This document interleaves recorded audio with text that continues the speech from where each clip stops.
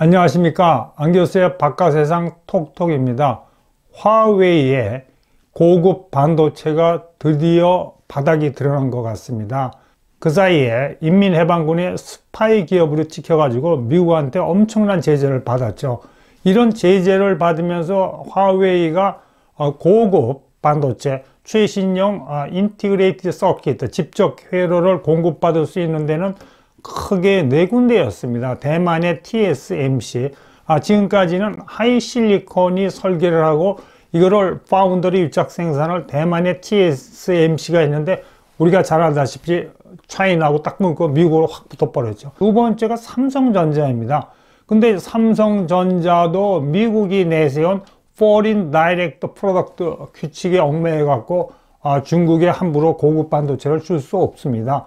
Foreign Direct Product라는 건 무슨 말이냐면 오리지널 미국 기술을 쓴 기업은 중국에 고급 반도체를 줄 수 없다는 겁니다. 세 번째가 이제 그나마 중국이 힘을 얻고 있는 SMIC죠. foundry 생산업체인데 여기도 미국한테 블랙리스트를 두드려 맞았고 그나마 화웨이가 이 어려운 와중에 의존한 것이 하이실리콘이 생산하는 기린이라는 첨단 반도체였습니다. 여기에 의존했는데 이제 바닥이 드러난 것 같아요. 이렇게 외신이 보도하는 이유는 첫째, 하이실리콘의 글로벌 스마트폰 어플리케이션 점유율이 작년 2, 4분기에는 3%였는데 어, 금년 2, 4분기에 0.4%로 떨어지더니 3, 4분기에는 빵 제로가 된 겁니다. 이거는 하이실리콘 자체가 내다 팔 스마트폰 어플리케이션이 없다는 이야기죠. 두 번째 반증은 하이실리콘의 칩셋 점유율이 2000년 2, 4분기 만 해도 16%였는데 금년에는 top 25, 25개 업체한테도 못 들어가고 탈락해버린다니까 뭔가 하이실리콘이 굉장히 어렵고 더 이상 이 하웨이의 고급 반도체를 공급할 능력이 없는 겁니다. 아, 몇 년 전에 트럼프 대통령이 이제 확하웨이를 한 방 칠 때 그냥 그 고급 반도체를 즉시 동결시킨 게 아니고 몇 개월 정도 여유 기간을 줬습니다. 그때 하웨이가 진짜 뭐 돈 따지지 않고 미친 듯이 막 고급 반도체를 전 세계 시장에서 쓸어 모았거든요. 그렇기 때문에 작년에 제가 이렇게 외신을 보면 아, 하웨이가 22년 말까지는 견딜 수 있을 것 같다고 예측했는데 그 말이 맞아 떨어진 것 같아요. 지금이 뭐 1922년 말 아닙니까? 근데 이 아무리 이렇게 뭐 펑펑 날려도 유나이티드 스테이츠한테 두드려 맞으면 힘든 겁니다. 이 중국 기업이 3년간 두드려 맞더니 이제 드디어 제재 효과가 나타나기 시작하는 게 우선 2020년 초에는 뭐 삼성보다 잘 나가고 있었거든요. 하웨이 스마트폰이.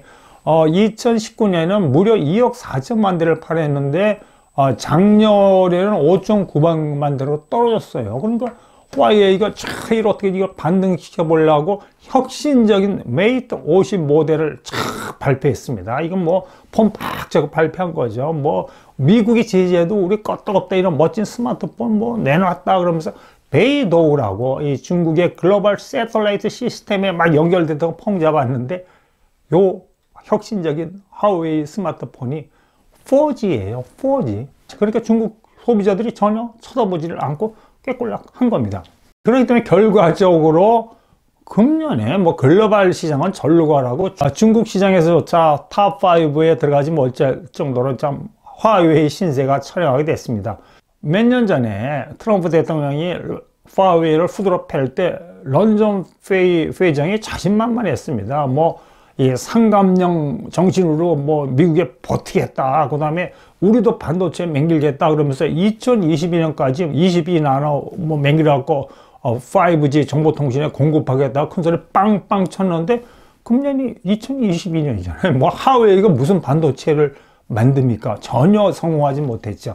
그러니까 이제 얼마 전에 런정 회장이 화웨이 직원들한테 이제 보내는 메시지에서 무슨 수를 써서든지 3년은 써 영어로 survive 살아남아라 지금 화웨이가 위기다 그러니까 지금까지는 승승장구했는데 앞으로는 절대로 화웨이 앞날에서 낙관적인 전망을 버려라 런정페이 페이전이 이렇게 이야기했는데도 근거가 있습니다. 금년 상반기에 수입이 5.9% 떨어졌고요. 화웨이의 순이익이 5%밖에 안 돼요. 작년만 해도 9.8% 거의 반토막 난 겁니다. 그 다음에 2008년 창업한 이후로 처음으로 직원을 잘리기 시작한 겁니다. 이게 화웨이의 뭔가 위기의 징조가 나타나는 거죠. 그 다음에 중국 반도체 산업이 무너지고 있다는 두 번째 징조는 쑥대밭되는 중국 반도체 거부들입니다. 사우스 차이나 모닝포스트에 이런 기사가 났는데 어, 그 사이에 중국 정부가 반도체에다가 엄청나게 돈을 막 퍼부니까 그냥 반도체 하겠다는 사람들한테는 레드 카펫을 쫙 깔아준 겁니다. 이 베이징 정부가 뭐 돈 팍팍 떼주니까 억만장자가 쑥쑥쑥 생긴 거예요. 그 중에 최고 부자가 상하이 윌 반도체를 만든 유렌롱이라는 사람인데 이 사람의 재산 가치가 55% 하락했답니다. 금년에. 뭔가 이 something wrong, in 중국 반도체 시장에 뭔가 잘 안 되고 있다는 경고음이 삑삑 울리고 있는 겁니다. 그 다음에 또 이제 중국 반도체 희망하면 양찌 메모리입니다. 이 양찌 메모리가, 야, 우리가 128단 3D NAND flash를 개발했다 큰 소리 빵빵 쳤습니다. 이 NAND flash 분야에는 삼성전자가 최고인데 뭐 잘하면 우리가 삼성전자 따라잡겠다 큰 소리 빵빵 치니까 애플이 요새 애플이 좀 순진해요. 특히 차이나에 대해서는 애플이 아 그럼 우리가 40% 구매할게 뭐 이런 식으로 뭐 애플이 이제 관심을 보였는데 어신들이 딱 보니까 어 애플이 또 엉뚱한 짓 하려거든요. 그러니까 무슨 소리 하는 거야? 10월에 이 양쯔 메모리를 블랙리스트에 탁 올려버린 겁니다. 그러니까 애플이 깜짝 놀래갖고 어 양쯔 메모리에서 반도체 구매 안 하겠다고 뒤로 벌렁 아, 물러섰습니다. 다음에 이제 또 중국 파운드의 선주 주자인 SMIC 아까 제가 말씀드린 그 기업도 14나노 공정을 개발했다니까 아직 대량 생산 안 하는 거죠. 공정 개발했다 큰 소리 빵빵 주고 양산 준비하려고 때 미국이 기다렸다는 듯이 야 14나노 제조 장비를 차이나에 수출하고 금지해 그러면서 그러니까 미국 장 업체가 이 중국에서 설수해 버립니다. 이런 식으로 미국이 집요하게 이제 중국의 반도체 산업을 이렇게 이 물고 늘어지는데 그다음에 팍스콘 있지 않습니까? 요새 팍스콘 난리죠. 정적 공장에서 뭐 근로자 도망가고 그러니까 팍스콘이 난리인데 이 팍스콘이 난리니까 좀 병이 없나 봐요. 지도자들이. 중국의 칭화윤이라고 이제 반도체 그 기업인데 칭화대학이 맹긴 자회사입니다. 근데 이게 이제 부도로 파산 직전이니까 칭화윤이에 1조 원을 투자하겠다고 지난 7월에 발표를 했어요. 대만 정부가 확 들고 일어나는 겁니다.